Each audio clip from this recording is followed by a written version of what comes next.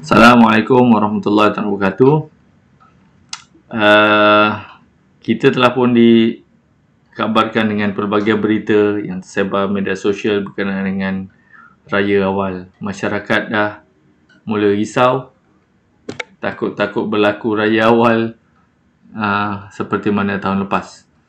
Okey, uh, okey kita tengok data anak bulan untuk raya tahun ni. Jadi daripada data ni kita akan lebih faham dan kita dapat gambaran lah bagaimanakah keadaan anak bulan yang akan kita lihat pada 29 hari bulan nanti. Di sini saya sediakan dua data, satu data tahun lepas dan juga data tahun ni. Okey, jadi yang atas ni adalah data tahun lepas, yang bawah ni adalah data tahun ni. Kita nak tengok dia punya trend dia. Data tahun lepas tak cukup syarat. Yang mana ketinggian anak bulan ni daripada kaki langit memenuhi syarat tetapi jarak antara matahari ke bulan tidak tidak cukup syarat. Hmm. Jadi bila tak cukup syarat mengikut kiraan hisap hilal tidak kelihatan. Walau bagaimanapun cerapan telah mendapati bahawa hilal dapat dilihat dan akhirnya kita telah pun raya awal. Jadi kita nak lihat analisis dia, potensi dia untuk data hilal tahun lepas ni. Macam mana uh, apa ni potensi-potensi kedudukan hilal ni uh, akhirnya dia telah dapat dilihat. Yang pertama adalah tinggi hilal ini telah pun jauh melebihi daripada syarat minimum yang diperlukan 3 darjah dia telah sampai 5 darjah lebih. Yang kedua, walaupun jarak lengkung ataupun jarak antara matahari ke bulan ini tak memenuhi syarat tetapi dia hampir-hampir memenuhi syarat. Bermakna anak bulan tahun lepas itu berada dalam keadaan kritikal hampir dengan sempadan antara nampak dan tidak. Sebab itu banyak mereka yang biasa mencerap melihat keadaan data ni nampak macam ada potensi boleh nampak. Tambahan dengan umur anak bulan ni 15 jam kerana kita di Malaysia ada rekod yang lebih kecil 12 jam. So 15 jam lebih besar jadi beranggapan pada ketika itu boleh nampak.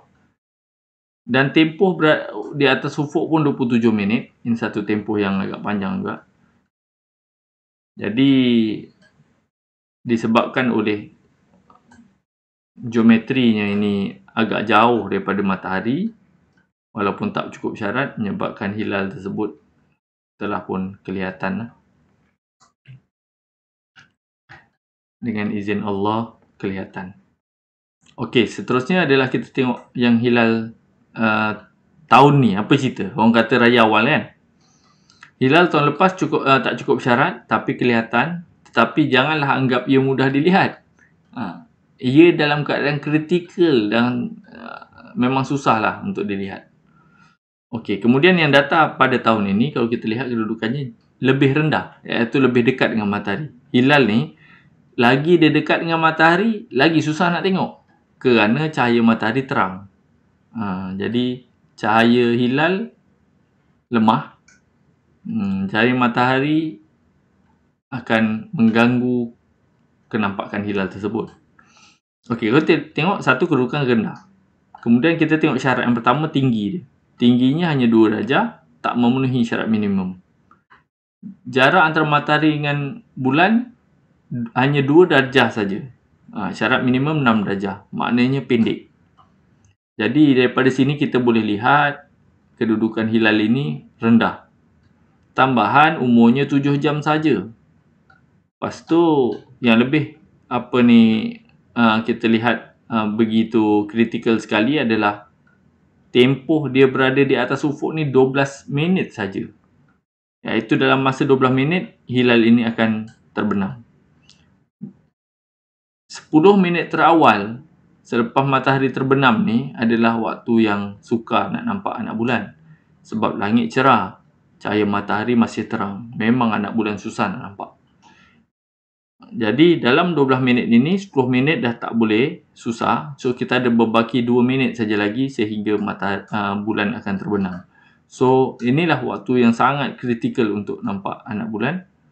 Tambahan dengan kedudukannya dekat dengan matahari, posisi bulan untuk uh, hilal Syawal ini memang pada posisi yang sangat suka untuk dilihat. Uh, dari disebabkan oleh ia tidak memenuhi kriteria imkan ru'ya, syarat minimum kenampakan hilal tak dipenuhi. Sebab tu kita tengok di kalender uh, bulan Ramadan ini uh, 30 hari. Uh, jadi uh, tarikh hari raya itu pada 22 hari bulan kalau mengikut kalender dan hitungan hisap. Bagaimanapun, kita perlu tahu bahawa cerapan hilal adalah uh, satu uh, aktiviti yang akan dilaksanakan pada 29 hari bulan dan dia adalah juga penentu kepada tarikh yang sebenar. Hasil daripada cerapan itu nanti akan uh, dilaporkan kepada penyimpan mohon besar raja-raja dan keputusan uh, tarikh itu nanti akan diumumkan oleh penyimpan mohon besar raja-raja.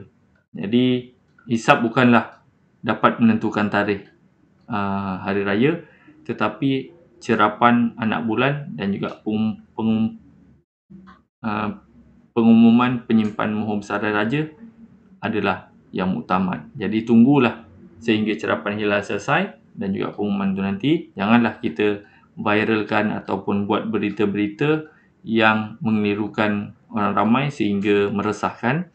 Jadi serahkanlah perkara ini kepada pihak yang berwajib, pihak JAKIM, Jabat Mufti dan juga penyimpan mohon besar raja-raja untuk menguruskan perkara ini. Semoga perkongsian ini bermanfaat. Terima kasih kepada semua. Assalamualaikum warahmatullahi wabarakatuh.